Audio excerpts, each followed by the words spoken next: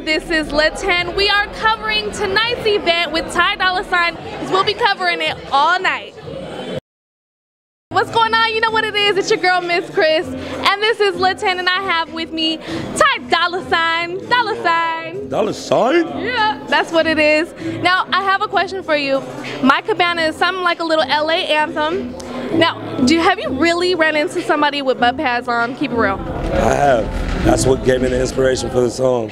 Like one person or a few people? A few people, but like usually like all my lyrics are like super true, like real stories that just happen, and that's what I do. Like that's why I love going out because it just gives me inspiration to write, you know, a new song. Right, right.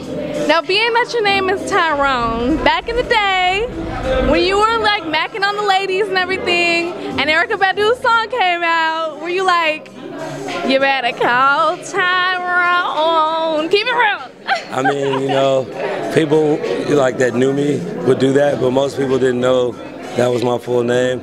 You know, or it would have been Tyrone Dollar Sign. Right, right, right, right, right, right. But it's Ty Dollar Sign, you feel me? I feel it, but I'm saying before all of that, Yeah. did you use that or no? Nah. You never did? Nah. I would if I was you. No, nah. Now, Paranoid was a dope video. Where Thank did you you. come up with the concept for that? Uh, me and this guy named Ethan and my other homie, uh, my other homie from Atlantic, um, we did that together. Yeah. That's what's up. We were all just bouncing ideas off of, of each other. I told them I didn't want to do no regular rap video with ass and titties and, and uh, cars and clothes and hoes and jewelry. I wanted to come with something different, and uh, he came up with that.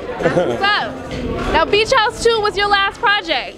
No, Beach House the EP was. I had Beach House 2 and 1 and House on the Hill, and then I just dropped the Beach House EP recently, which did well and went number two on iTunes the first Shout out day. to you. Man, God is great. Shout out to everybody that helped. It's not just me, it's definitely a team.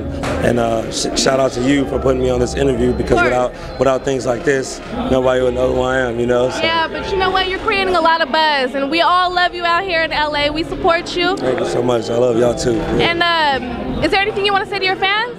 I want to say I love y'all, and uh, we tailored, and it's pushing the label, and thank y'all support for supporting my shit, all the little homie shit. You feel me? Um, you already know what it is.